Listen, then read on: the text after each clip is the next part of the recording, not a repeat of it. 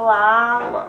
Muito prazer tê-lo aqui na EBC com a gente, ministro. Eu queria falar com o senhor sobre o Dia Mundial do Turismo. Queria que o senhor me falasse o que, que o governo já fez nesse, nesse começo e o que, que a gente pode esperar daqui para frente. Bom, primeiro é um prazer estar aqui, prazer estar com vocês aqui na EBC.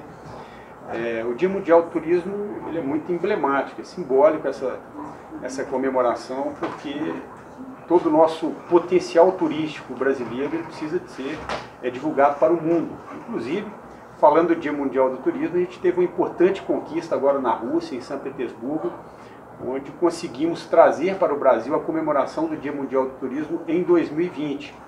Isso é inédito, histórico para o Brasil.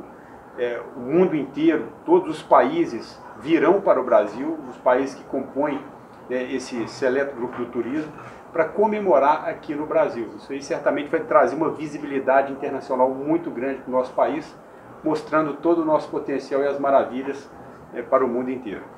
É, além da ampliação de vistos que ocorreu agora esse ano, o que mais que a gente pode esperar para impulsionar esse setor tão importante para o país? Olha, quando nós olhamos para o turismo, é muito difícil a gente conseguir compreender o porquê o Brasil tem um potencial tão grande turístico.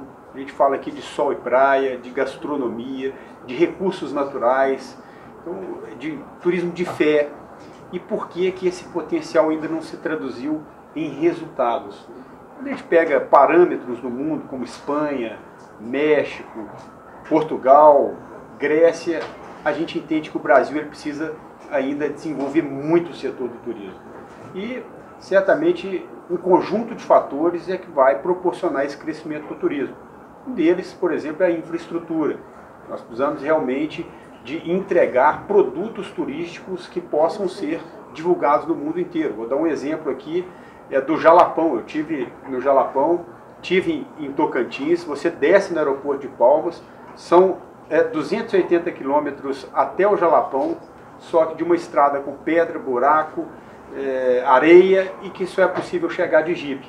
Então essa estrada ela é fundamental para que a gente consiga formatar o produto de Jalapão e assim divulgar no mundo inteiro. É, outras é, é, questões também importantes é o que o governo federal, através da liderança do presidente Jair Bolsonaro, já está fazendo, que é desburocratizar, desregulamentar, aprovou a lei da liberdade econômica, a reforma da Previdência, a reforma tributária. Isso esse conjunto de ações da economia é que vai proporcionar a atração de investimentos internacionais e também de investimentos internos, investimentos nacionais. É, então é uma série de ações como a isenção de vistos, fundamental, já aponta, é, os dados já apontam que é, cresceu em 43% os gastos dos turistas estrangeiros no mês de julho, um mês após a isenção de vistos, já cresce 43% o gasto dos estrangeiros aqui no Brasil. E certamente a gente está vivendo um momento agora né, que de recursos escassos, herdamos né, uma, um déficit primário de 140 bilhões, mas é, nesse conjunto de esforços, usando a criatividade, a parceria com a iniciativa privada, a gente vai conseguir colocar o turismo certamente num patamar talvez nunca visto antes no Brasil. Inclusive o mapa do turismo que vocês lançaram agora em agosto é um, foram 2.600 municípios né, que foram interligados aí nesse mapa e qual que é a importância disso também para essa geração de renda? É, é importante que, para que haja o investimento do turismo no município, ele precisa compor o mapa do turismo no Brasil. Portanto, é, essa inclusão de novos municípios é fundamental para que lá na ponta o recurso possa chegar e fazer a estruturação das cidades, dos municípios é, em relação ao turismo. Portanto, é uma ação importante para que nessa capilaridade o turismo ele possa realmente ter um progresso e levar emprego e renda para os municípios que também foram incluídos nessa, nesse mapa. Ministro, o senhor comentou que está indo para São Paulo, está participando de uma feira muito importante aí do setor de hotelaria, a ABAV. Sim. E o que, que a gente está trazendo nessa feira? O que, que a gente pode saber aí de novidade que vai vir a partir dessa feira? A ABAV é a maior feira de turismo da América Latina. É, os números impressionam é,